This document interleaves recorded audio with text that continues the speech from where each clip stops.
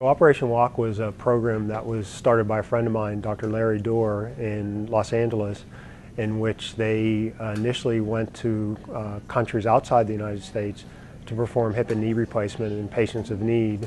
And since that uh, program, it has expanded into nine cities in North America, of which Pittsburgh is one of these sites.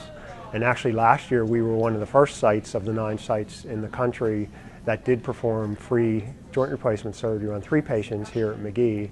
And as part of our tradition, uh, we repeated it again this year. We picked the week of Thanksgiving for obvious reasons, um, in that it is a time to give back to the system, to give back to our community and our, and our patients in a way that uh, is is unique.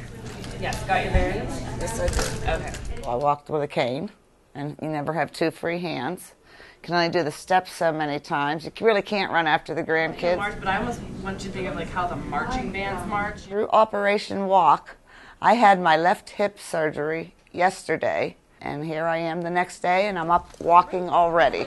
So it's been fantastic. Well, Operation Walk is 100% supported. Many, many people came together to provide the services for free. And it doesn't just stop here in the hospital. Uh, we also were able to have the vendors that provide outpatient therapy and home nursing and uh, different types of medicines that we knew, all donated for free. And yes, we are always looking for patients uh, each year because, as we said, we do hope to do this every year, uh, year in and year out during the week of Thanksgiving.